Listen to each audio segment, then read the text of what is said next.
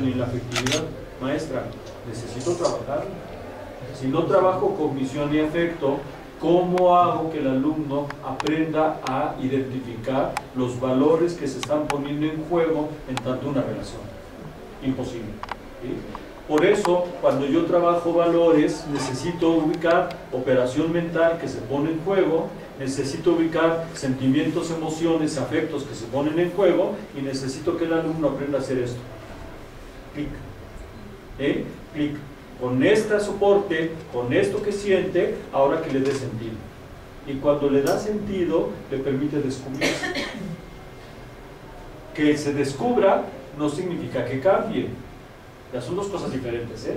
Mi trabajo como profesor es que él descubra lo que es. Cambiar es su problema. Porque el cambio es una cuestión de voluntad y de libertad. Y el alumno puede darse cuenta que lo que está haciendo no está bien. Sin embargo, decide no cambiar. Ese es su problema, es su decisión. Y su decisión tiene las consecuencias que sean las necesarias. Pero él lo sabe. La relación entonces consciente y crítica consigo mismo y con el mundo es una relación comprensiva y transformadora. Comprensiva va hacia acá y transformadora va hacia allá.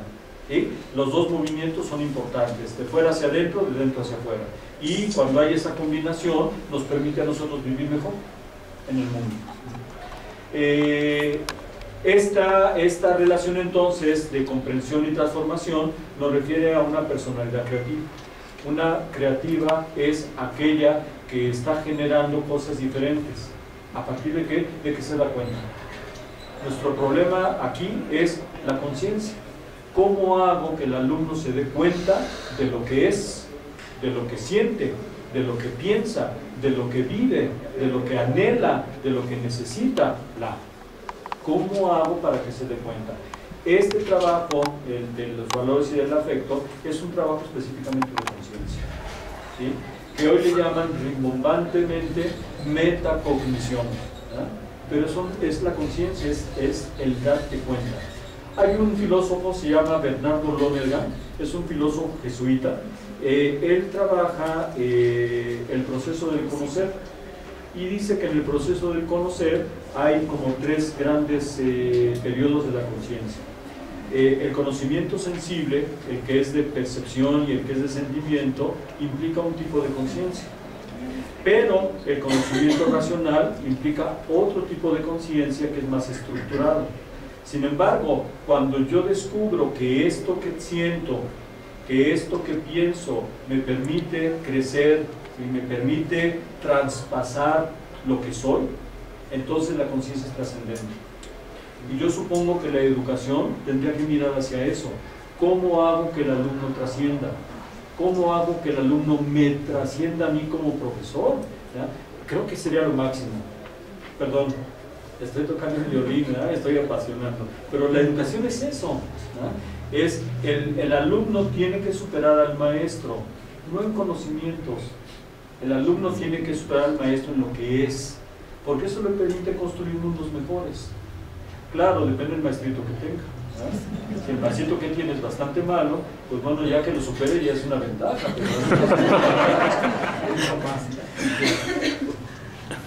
Eh, entonces, aquí lo que se pone en juego es la integralidad de la persona.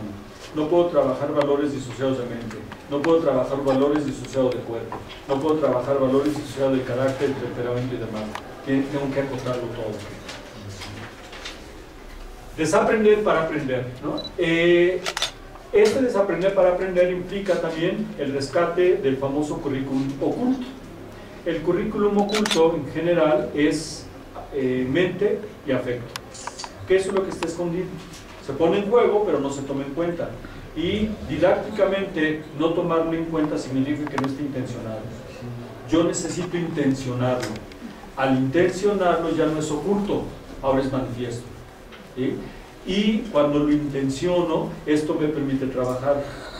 Por lo tanto, el currículum oculto necesito hacerlo ¿sí? manifiesto. Eh, esto me permite identificar que las capacidades y los valores son fines de la educación y que los contenidos y los métodos solo son medios. medios que hacen que las capacidades y los valores se generen, se lleven a cabo. Ah, me salto todo eso. Más, Bien. Eh, ¿Cómo le hago desde la didáctica entonces para trabajar esta integralidad? Ayer este, decíamos que la integralidad en el esquemita del modelo T ya nos está dando la posibilidad. La, en la cognición, en relación con el afecto, en relación con los contenidos, en relación con los métodos, con el caminito que establecimos ayer. ¿Sí? Adelante viene el modelo T para que lo recordemos. Ah, hasta ahí. Entonces, cuando yo voy a trabajar el cuadrante de la afectividad, tomo en cuenta valores, actitudes, conductas. Y entiendo que las actitudes y las conductas se mueven en el afecto. Por lo tanto, el maestro cuando diseña necesita ubicar el valor que se va a poner en juego. De ese valor necesita identificar las actitudes que se pueden poner en juego las posibles conductas que el alumno puede plantear o puede vivir y qué sentimientos y afectos son los que estarían en esas vivencias. Si yo no lo intenciono, o por lo menos no me lo imagino, no sé cómo trabajar.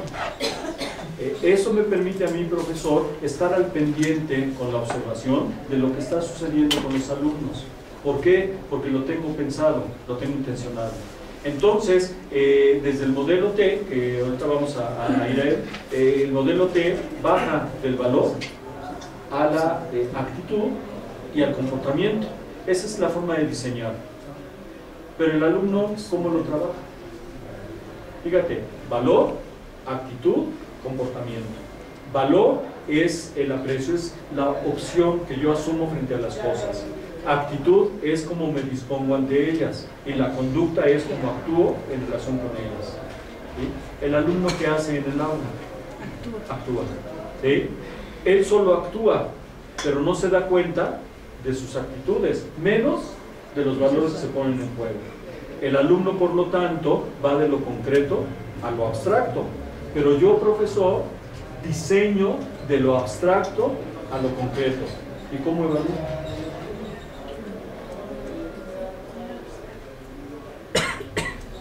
Porque si diseño de lo abstracto a lo concreto y el alumno vive de lo concreto a lo abstracto, ¿cómo evalúo?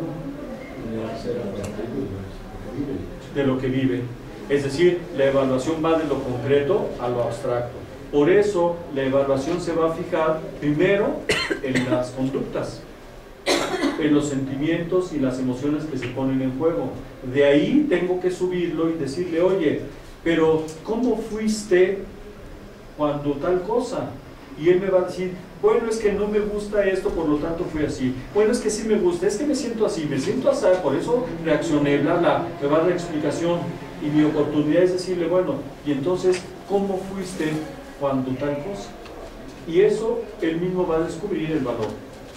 La evaluación no es aplicar instrumentos estamos tan casados con los instrumentos y con la organización las rúbricas y bla, bla. No, la evaluación en el plano del afecto tiene que ser dialógica.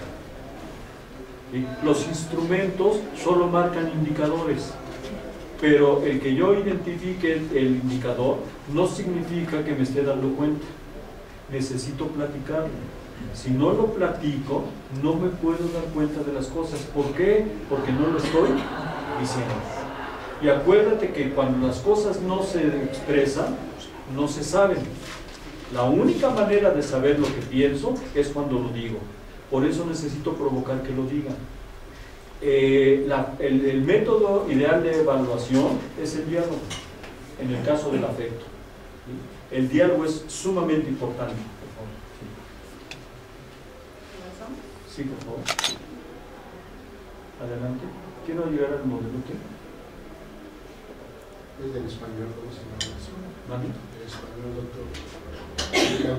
ah, este, Martiniano Román, eh, el modelito es inversa.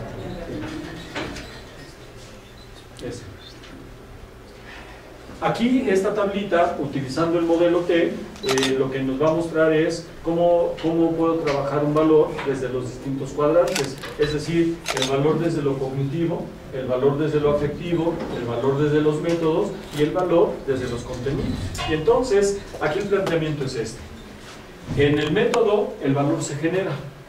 Ayer decíamos que cuando nos relacionamos con el otro haciendo algo, esto implica una serie de emociones y sentimientos. Ahí el método está produciendo el valor. No como conciencia, sí como vivencia. Bien, si el método genera, por lo tanto, yo puedo intencionarlo. Es decir, el cuadrante afectivo me permite intencionar los valores, las actitudes y los comportamientos que se ponen en juego. Pero, ¿cómo sé que esto es lo que se pone en juego? Porque tengo el referente de la actividad. La actividad es muy importante. La actividad es la que genera el valor. La actividad es la que genera el afecto. La actividad es la que le da tono. Por lo tanto, lo bajo y lo intenciono. Aquí es el papel de planeación del profe cuando está intencionando el valor. Es decir, cuando descubre cuáles son las actitudes de ese valor y cuando descubre los comportamientos específicos de esa actitud que se pone en juego. Esto es el paso más importante en la planeación porque me permite mirar lo que va a suceder con el alumno. Pero el que lo está provocando es esto, es el método. Yo necesito, vía el diálogo, reflexionar con el alumno sobre el valor, pero no es una reflexión de opinión, es una reflexión de fundamento. Por lo tanto, si me voy de este lado, aquí el contenido me da el fundamento. Porque si puedo cargar la definición del valor, puedo ubicar quién hable sobre ese valor, etc. Y esto me va a permitir, con fundamento, entender de manera más profunda lo que estoy sintiendo y lo que estoy viviendo. Pero, ¿cómo conciencia acá? Es decir, la operación mental de la conciencia hay que ponerla en juego. Y la conciencia se mueve por la crítica. Y la conciencia se mueve hacia la evaluación. Y la evaluación me tiene que llevar a la valoración. ¿Es lo mismo el valor que valorar? No. La evaluación siempre es en función de criterios. La valoración es en función de aprecio. Yo lo que necesito no es que el alumno con base en criterios se catalogue, si necesito que el alumno aprenda a descubrirse quién es. Eso le permite apreciarse.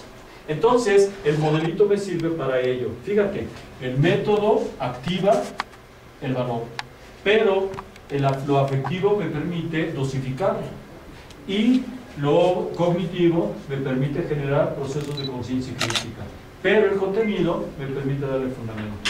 Y de esta manera lo trabajo. ¿Cómo? Dialogando.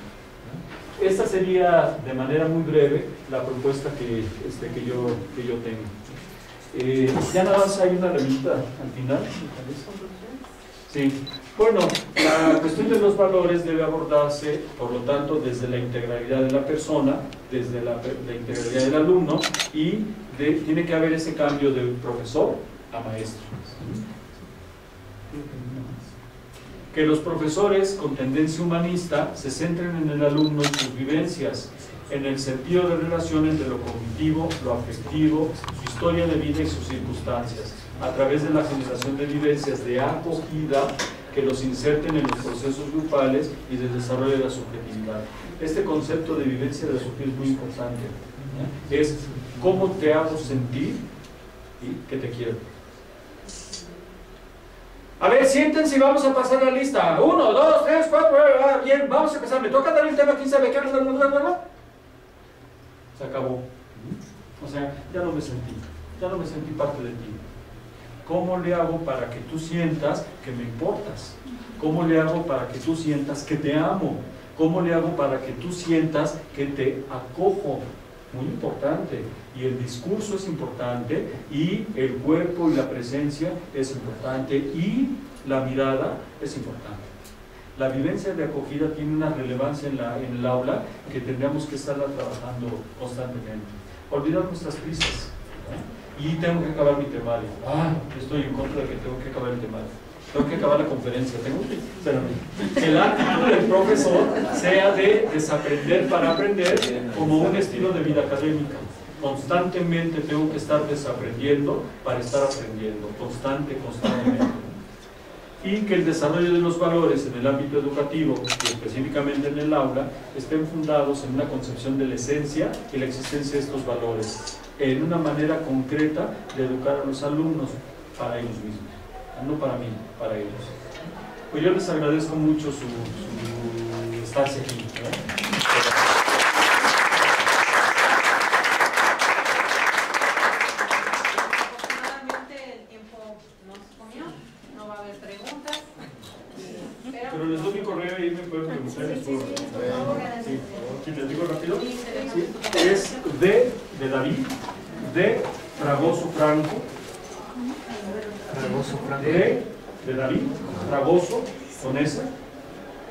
franco arroba yahoo.com.mx y ahí nos podemos conectar. ¿verdad? Entonces, agradecemos al doctor, la Facultad de Estudios Superiores Zacatlán, a través de la Unidad de Investigación Disciplinaria, otorga esta constancia. Le agradecemos